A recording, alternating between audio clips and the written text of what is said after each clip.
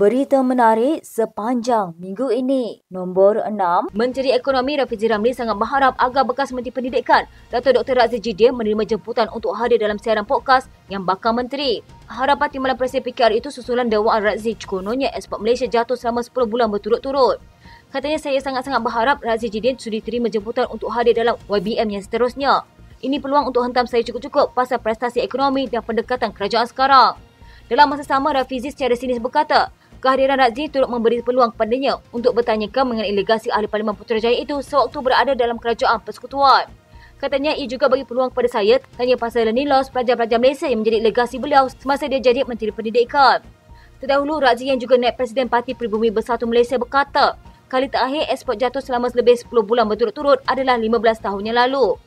Sebelum itu, dia menggelar Kerajaan Madani pimpinan Datuk Seri Anwar Ibrahim sebagai Kerajaan Madanon menempelak agar tidak sembang deras.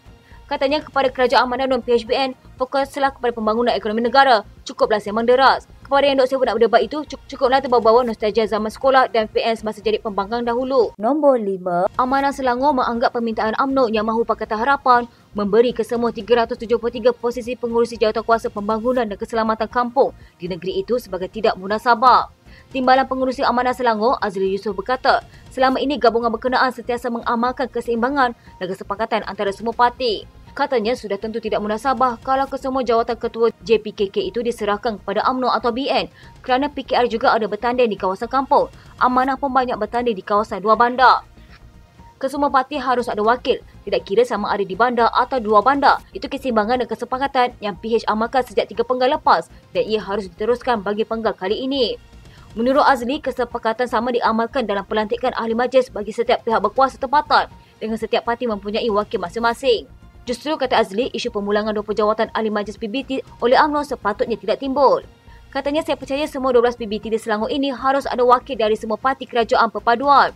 Sebelum ini kata ahli Parlimen Shah Alam itu lagi, lantikan politik dari semua parti kerajaan tidak menjadikan kawasan luar bandar atau kawasan bandar sebagai penentu. Katanya sebelum ini amalan kita memang diwakili oleh semua parti. Dalam PH ada tiga parti, walaupun amanah banyak menang di kawasan luar bandar, DAP pula di kawasan bandar. Tapi itu tidak menjadi asas kepada perundingan jawatan. Bahkan kita mengambil semangat bekerjasama dan kesemua lantikan politik itu adalah wakil dari parti yang terlibat. Memetik sumber dalaman, kerajaan negeri melaporkan isu kelewatan pelantikan 272 ahli majlis melibatkan 12 PBT bagi sesi 2024 hingga 2025 lewat ekoran keinginan UMNO menerima peruntukan 20 kerusi yang ditawarkan. Pengurusi UMNO Selangor Megat Zulkarnain Awamardin kemudian mengumumkan parti itu akan menyerahkan semula semua 20 jawatan ahli majlis tersebut dan meminta 373 jawatan pengurusi JPKK diberikan kepada UMNO. Hal itu katanya UMNO menghormati penguasaan PH di kawasan bandar. Azli berkata dalam percaturan lantikan politik perlu ada keseimbangan dan langkah pengasingan yang dicadangkan UMNO akan menambah polarisasi penyokong PH dan BN. Memberikan contoh di kawasan bandar seperti Shah Alam dan Petaling Jaya dan kawasan seluruh bandar seperti Sabak Benam, penting ada wakil dari semua parti kerajaan perpaduan agar wujud kesimbangan. Katanya strategi ini akan menunjukkan wujud perpaduan dan kesepakatan antara PH dan BN bukan dengan mengasing-asingkan lantikan politik.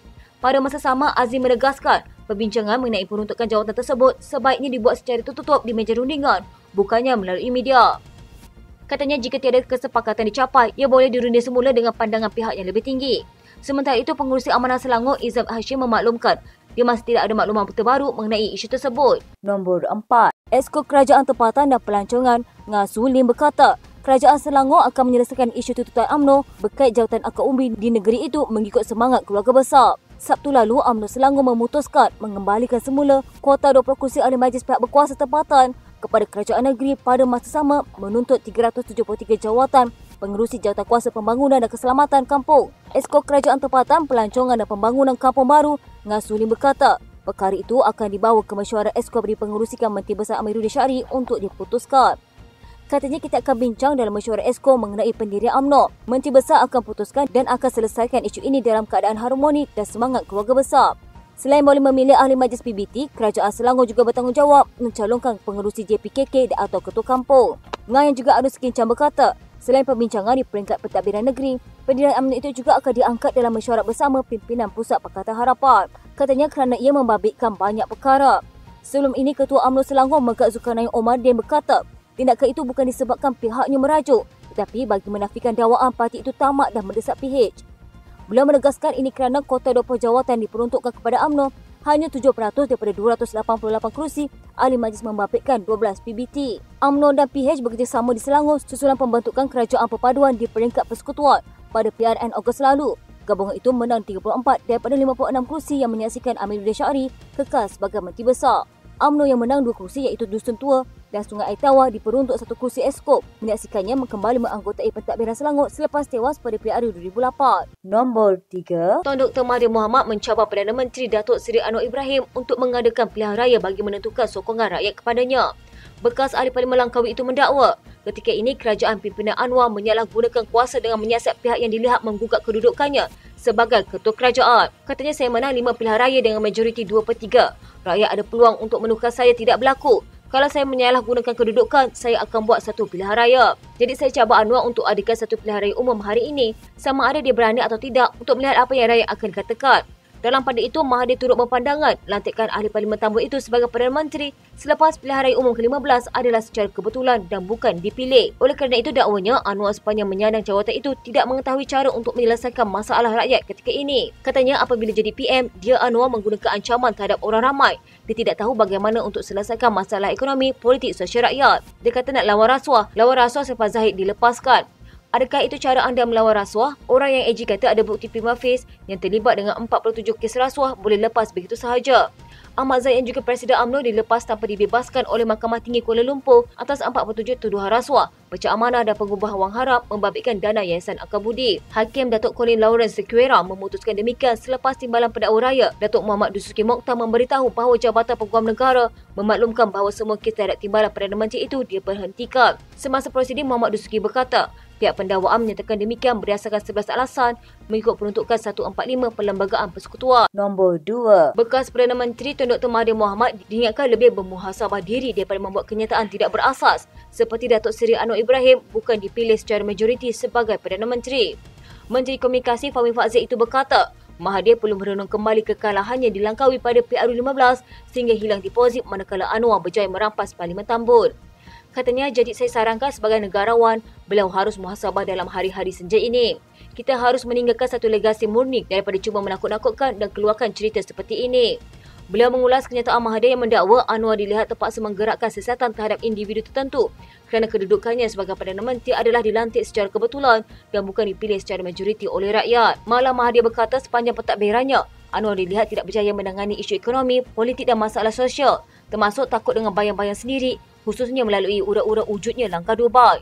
Sementara itu, Fahmi menafikan wujud campur tangan orang dalam kerajaan membabitkan siasatan Suruhanjaya Pencegahan Rasuah Malaysia. Katanya SPRM bebas lakukan sebarang siasatan yang dirasakan wajar. Kita tidak masuk campur. Jadi terserah kepada SPRM untuk lakukan sebarang tindakan yang berlandaskan undang-undang yang dirasakan perlu dan wajar. Beliau turut menyifatkan Mahathir hanya cuba bermain persepsi apabila mendakwa seserta SPRM terhadap individu tertentu bersikap politik dan dendam. Nombor 1.